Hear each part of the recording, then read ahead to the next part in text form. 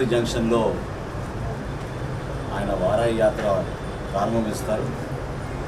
అక్కడ ఒక బహిరంగ సభ ఏర్పాటు చేసుకుని అక్కడి నుంచి పిఠాపురం పిఠాపురంలో రెండు రోజులు బస్సు చేసి ఆ నియోజకవర్గం అయిన తర్వాత కాకినాడ గ్రామీణ ప్రాంతం కాకినాడ కాకినాడ పట్టణ ప్రాంతం ఆ రెండు నియోజకవర్గాలు కంప్లీట్ అయిన తర్వాత అక్కడి నుంచి ముమ్మడివరం ముమ్మడివరం నుంచి అమలాపురం పీగన్నవరం రాజోలు ఈ నియోజకవర్గాలు పూర్తి చేసుకుని పశ్చిమ గోదావరి జిల్లాలో ఉన్న నర్సాపురం భీమవరం పాలకోలు.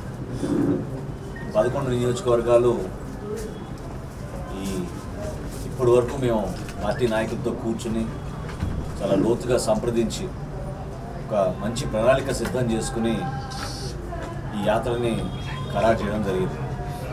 రాష్ట్ర వ్యాప్తంగా ఉన్న మా జనసేన పార్టీ నాయకులు జన సైనికులు వీర మహిళలు వీళ్ళందరూ కూడా పద్నాలుగో తారీఖున సాయంత్రం ఐదింటికి కత్తిపూడి జంక్షన్కి చేరుకుని పవన్ కళ్యాణ్ గారికి అన్ని విధాలుగా ఆ భగవంతుడు ఆశీర్వదించేటట్టు ఈ యాత్ర విజయవంతంగా ముందు సాగేటట్టు ప్రతి ఒక్కరు కూడా అందులో పాల్గొనమని జనసేన పార్టీ తరఫున మా నాయకులకి కార్యకర్తలకు వీర మహిళలకు జన సైనికులకు ప్రత్యేకంగా ఆహ్వానిస్తున్నాం.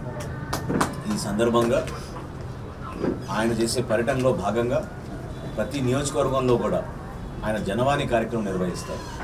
అంటే జనవాణిలో ప్రజల దగ్గర నుంచి అర్జీలు తీసుకోవడం ఆ సమస్యలపైన ఒక అవగాహన తెచ్చుకొని పరిష్కారం కోసం ఒక ప్రయత్నం.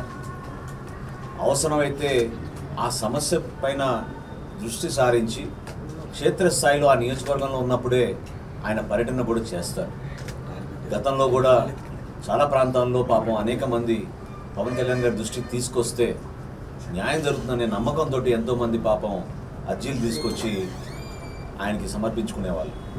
జనవాణి కార్యక్రమం ద్వారా మేము కూడా సుమారు రెండు వేల పైన అర్జీలు ప్రభుత్వానికి పంపించి అందులో కొంతమంది ప్రధాన కార్యదర్శుల దగ్గరికి ముఖ్య కార్యదర్శి దగ్గరికి కూడా మా పార్టీలో ఉన్న వరప్రసాద్ గారు ఫాలో అప్ చేసి న్యాయం చేసేటట్టు వాళ్ళకి ఒక ప్రయత్నం తప్పకుండా జనసేన పార్టీ నుంచి చేశాం.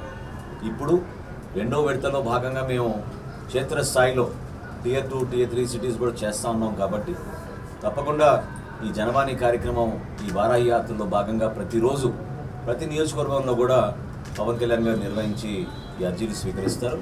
అదేవిధంగా క్షేత్రస్థాయిలో ఉన్న ప్రముఖులు విద్యావేత్తలు డాక్టర్లు లాయర్లు వీళ్ళందరితో కూడా సంప్రదించి ఆ నియోజకవర్గానికి సంబంధించిన ప్రత్యేక సమస్యలపైన వాళ్ళ అభిప్రాయం కూడా సేకరించుకున్న తర్వాత ఒక ప్రణాళిక సిద్ధం చేసుకుని రాబోయే ఎన్నికల్లో జనసేన పార్టీ ఏ విధంగా ఈ సమస్యలకి పరిష్కారం మేము చూపించగలుగుతామో ఆ విషయాలు కూడా పవన్ కళ్యాణ్ గారు తన ఉపన్యాసంలో దాని గురించి మాట్లాడతారు. వివిధ అంశాలపైన రాష్ట్రంలో ప్రత్యేకంగా రాజకీయ కోణం నుంచి చూసినా ఈ ప్రభుత్వ వైఫల్యాలు అని చూసినా నష్టం జరుగుతుంది. వాటిపైన దృష్టి సారించడమే కాకుండా ప్రజలకు భరోసా నమ్మే కల్పించే విధంగా ఒక మార్పు కోసం ఈ రాజకీయాల్లో ఈ ఆంధ్రప్రదేశ్లో జరుగుతున్న అరాచక పరిపాలన వైఎస్ఆర్సీపీ ప్రభుత్వాన్ని ఆంధ్రప్రదేశ్లో ప్రజలకి ఎంత నష్టం కలిగించిందో ఆ వివరాలు కూడా పవన్ కళ్యాణ్ గారు సుదీర్ఘంగా ఆయన ఉపన్యాసంలో రాష్ట్ర వ్యాప్తంగా పర్యటిస్తున్నప్పుడు ఈ సమస్యల గురించి తప్పకుండా ఆయన వివరిస్తారు. అందులో భాగంగా గతంలో జనసేన పార్టీ నుంచి రెండు నెలల క్రితం సరిగ్గా ఈ రోజుకి రెండు నెలల క్రితం పోలవరం ప్రాజెక్ట్ నిర్మాణం గురించి ఆ రోజున మా మంగళగిరి పార్టీ కార్యాలయంలో ఒక సమావేశం ఏర్పాటు చేసి రాష్ట్ర ప్రభుత్వం మన ప్రజల్ని మభ్యపెట్టి మోసం చేసింది. ఇది జగనన్న పాపం పథకం. దీని గురించి ప్రజలు గమనించాలని మేము ఆ రోజు హెచ్చరించాం. రెండు నెలల క్రితం. అదే రోజున నేను ప్రెస్ మీట్లో చెప్పాను మా పార్టీ నాయకులతో కూర్చుని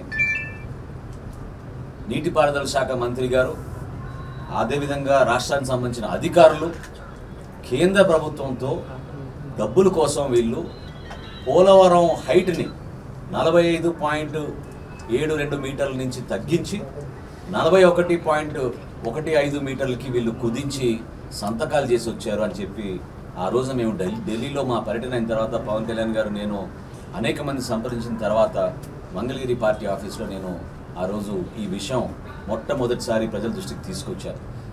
అదే రోజు కాదు అదే క్షణం మంత్రి గారు హడావుడిగా స్పందించి నేను అబద్ధాలు ఆడుతున్నానని చెప్పారు. నమ్మద్దని చెప్పాడు. ట్విట్టర్లో పోస్ట్ చేశాడు ఆయన.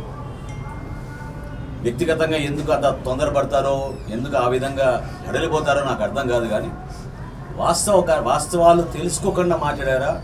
లేకపోతే సమాచారం రాష్ట్ర ప్రజలకి తెలియకూడదని ఒక ప్రయత్నం చేశారా? మంత్రి గారు సమాధానం చెప్పాలి. నిన్న కేంద్ర ప్రభుత్వం పదిహేడు వేల నూట నలభై నాలుగు కోట్ల రూపాయలు పోలవరంకి మేము రిలీజ్ చేస్తున్నామని చెప్పినప్పుడు చాలా స్పష్టంగా రాష్ట్ర ప్రభుత్వం అంగీకరణ మేరకు నలభై ఒకటి పాయింట్ ఒకటి ఐదు మీటర్లు కుదించి ఈ పోలవరం ప్రాజెక్ట్ నిర్మాణం జరుగుతుందని చెప్పారు. ఇంతకన్నా పచ్చబద్ధం ఎందుకు? ఈ రాష్ట్ర ప్రజలు మోసం చేసే విధంగా ఈ ఈ మంత్రి గారు ఆ విధంగా మాట్లాడారో సమాధానం చెప్పాలి. రేపటి రోజున జగన్మోహన్ రెడ్డి గారు పోలవరం యాత్ర ఉంది కాబట్టి ఆయనకు ఒక బాధ్యత ఉంది. రాష్ట్ర ప్రజలకి నిజాయితీగా మీరు మాట్లాడి చెప్పాలి ఎందుకు ఈ విధంగా మోసం చేశారు. ఎక్కడ పొరపాటు జరిగింది? దేనికోసం మీరు ఈ విధంగా పోలవరం హైట్ని మీరు నిర్మాణం తగ్గించారు? ఇంకొక ఆశ్చర్యకరమైన వార్త ఏమొచ్చిందంటే నిర్మాణంలో ఉన్న రీటైనింగ్ వాల్. నిర్మాణంలో ఉన్న రీటైనింగ్ వాళ్ళు మొన్న శుక్రవారం మొట్టమొదటిసారి అధికారులు చూశారు. అది కూడా టిల్ట్ అయిపోయింది.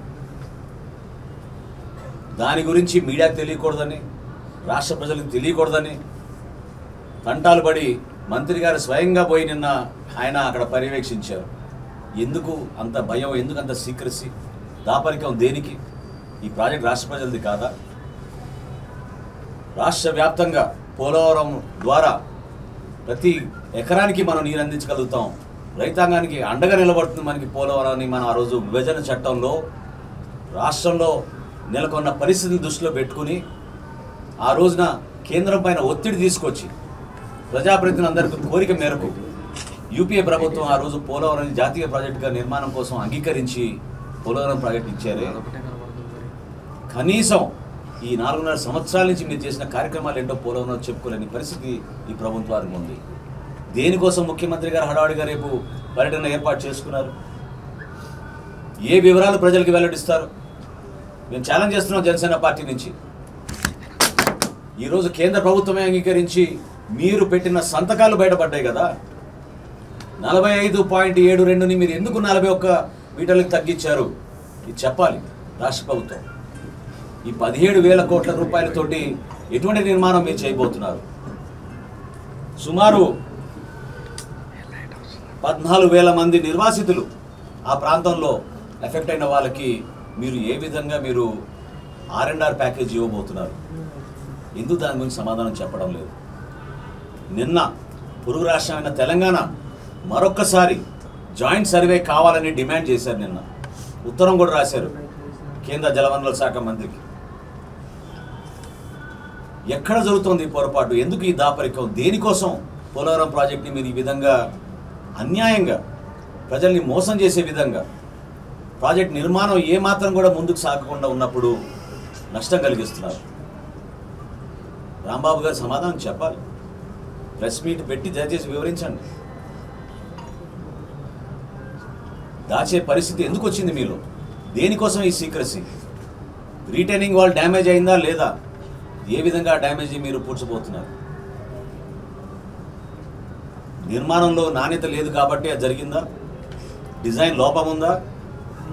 లేదా మీరందరూ కలిసి కక్కుర్తి పడ్డారా? ఎక్కడ జరుగుతుంది ఈ పొరపాటు? ఎన్నిసార్లు ఈ విధంగా పోలవరంకి మీరు అంచనాలు మార్చి రివైజ్ ఎస్టిమేట్లని రివైజ్ ఎస్టిమేట్లని మార్పులు తీసుకొచ్చి ప్రాజెక్ట్ని మాత్రం మీరు నిర్మాణం చేయకుండా ఎందుకు చెప్పారు? శాసనసభలో ముఖ్యమంత్రి గారు ఇచ్చిన హామీ ఏంటి? రెండు వేల ఇరవై ఒకటిలో ఆయన ఇచ్చిన హామీ ఏంటంటే ఖరీఫ్ సీజన్ కల్లా నేను పోలవరం జాతికి అంకితం చేస్తా అని చెప్పాడు ఏమైపోయింది ఈ ఎందుకు దాని గురించి మాట్లాడడం లేదు? జనసేన పార్టీ నుంచి మేము డిమాండ్ చేయబోతు చేస్తున్నాం. రేపు ముఖ్యమంత్రి గారి పోలవరం పర్యటన పారదర్శకంగా నిజాయితీగా అక్కడ ఉన్న వాస్తవ పరిస్థితులు బయట పెట్టాలి మీడియాని తీసుకెళ్ళాలి.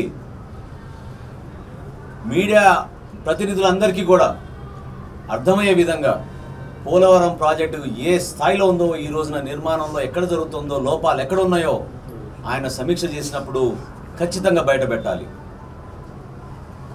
ఇది రాష్ట్ర ప్రజల్ని మోసం చేసే పథకం. అన్యాయంగా నమ్ముకుని నిజంగానే ఇతను రాజశేఖర రెడ్డి గారి అబ్బాయి ఆ విధంగా ప్రాజెక్ట్ పూర్తి చేస్తారని ప్రజలు నమ్మారు. ఏమైపోయింది ఈ రోజున? ఈ సమాధానాలు తప్పకుండా సంబంధిత శాఖ మంత్రిగా రాంబాబు గారు చెప్పాలి. లేదా రేపు ముఖ్యమంత్రి గారే ఆయనకు ఒక గొప్ప అవకాశం ఉంది కాబట్టి ఈ ప్రాజెక్ట్ గురించి రాష్ట్ర ప్రజలకి తప్పకుండా నిజాయితీగా వివరించాలని జనసేన పార్టీ నుంచి మేము డిమాండ్ చేస్తున్నాం.